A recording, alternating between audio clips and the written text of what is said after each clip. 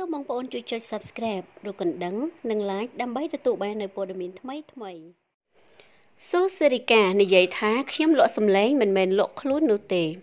ប្រិមិត្តជាច្រើនពិតជាបានស្គាល់ហើយថាតារាចម្រៀងកញ្ញាសូរិកា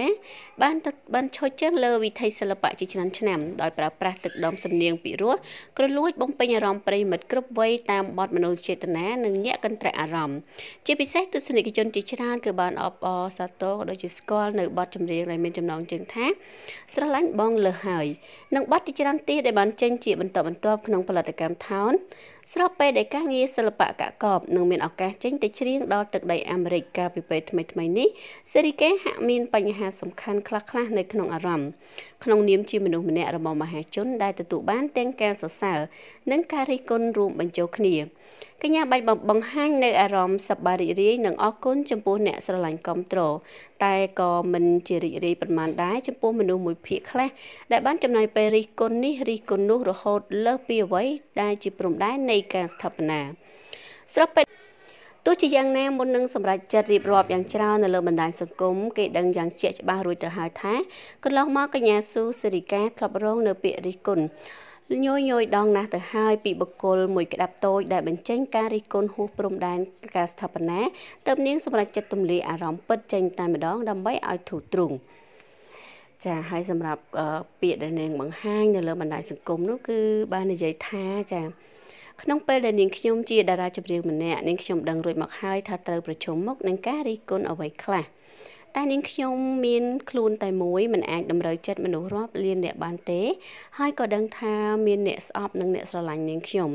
ក៏សូមអរគុណដល់ពុកម៉ែបងប្អូនទាំងអស់ដែលស្រឡាញ់គ្រប់គ្រងនាងខ្ញុំរហូតមកតែក៏សូមនិយាយបន្តិចបងប្អូនមួយចំនួនចូលចិត្តរិះគន់ថាគេមិនស្អាតឬក៏អញ្ចេះចុះសួរថាមនុស្សណាម្នាក់មិនចង់កើតមកស្អាតប៉ុន្តែខ្ញុំពេញចិត្តនៅអ្វីដែលខ្ញុំមានព្រោះតារាចម្រៀងត្រូវការសមត្ថភាពក្នុងការច្រៀងជាចម្បងរូបសម្បត្តិបន្តបន្សំ ព្រោះខ្ញុំលក់សម្លេងមិនមែនលក់ខ្លួនហើយក៏អរគុណដល់ព្រំលិខិតដែលបានកំណត់ឲ្យម្ដាយខ្ញុំបង្កើតនាងខ្ញុំមកឲ្យមានមាត់ចេះប្រើក្នុងការនិយាយស្ដីនិងសម្លេងដែលអាចច្រៀងបានតិចតួចនិងចេះប្រើភាសាមនុស្សមិនមែនភាសាសត្វធាតុចានេះគឺជាអ្វីដែលគាត់បានបង្ហាញនៅលើបណ្ដាញសង្គមចាព័ត៌មានជាបន្តទៀតគឺដាក់ចំណងជើងថា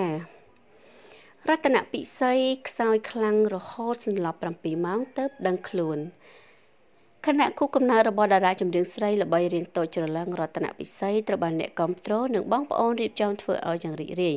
តែកាលពីម្សិលមិញនេះមហាជនក៏បានបង្ហាញនៅអារម្មណ៍អាណិតត្បិតតារារូបនេះស្រាប់តែដួលសន្លប់ប្រមាណ7ម៉ោងទើបដឹងខ្លួនដោយសារបញ្ហាសុខភាពចុះខ្សោយ។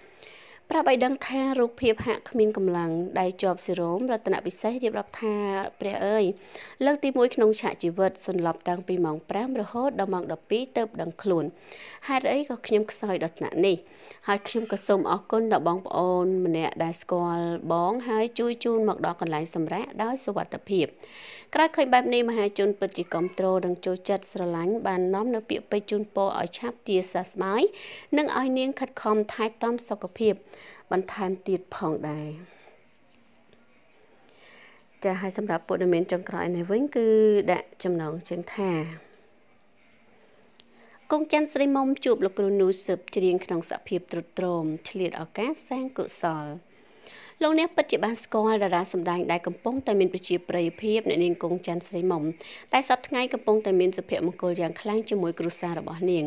យ៉ាងណាមិញតារាសម្ដែងដែលមានភាពលោឆាយរូបនេះក៏មិនដែលភ្លេចឡើយនៅសកម្មភាពមនុស្សធម៌អំពើល្អនៅក្នុងសង្គម។ ជាក់ស្ដែងកាលពីយប់មិញនេះនៅនាងក៏បានជួបជាមួយនឹងលោកគ្រូនូសឹបដែលជាតារាចម្រៀងជើងចាស់ច្រៀងនៅក្នុងកម្មវិធីមង្គលការដោយសភាពទ្រុឌទ្រោមក៏មានទឹកចិត្តបន្តិចបន្តួចដើម្បីជួយលើកទឹកចិត្តលោកគ្រូក្នុងនោះដែរកេរនី Facebook របស់អ្នកនាងក៏បានបង្ហោះថាថ្ងៃនេះមកញ៉ាំការបានជួបលោកគ្រូនូសឹបឃើញគាត់ច្រៀងលើឆាកមានអារម្មណ៍អាណិតគាត់ណាស់សុខភាពទ្រុឌទ្រោមមែនទែនពួកយើងមានតែទឹកចិត្តបន្តិចបន្តួចជូនគាត់ប៉ុណ្ណោះហើយសូមឲ្យលោកគ្រូឆាប់មានសុខភាពល្អប្រសើរឡើងវិញ។ ចាអញ្ចឹងសម្រាប់ព័ត៌មានសិល្បៈដែលនេះខ្ញុំបានជម្រាបជូនចំនួន3ពេលនេះក៏សូមបញ្ចប់តែត្រឹមប៉ុណ្ណេះអរគុណចំពោះការតាមដានស្ដាប់និងទស្សនារបស់អស់លោកអ្នកនាងជួបជាមួយនឹងរូបនាងខ្ញុំនៅវីដេអូថ្មីថ្មីក្រោយៗទៀត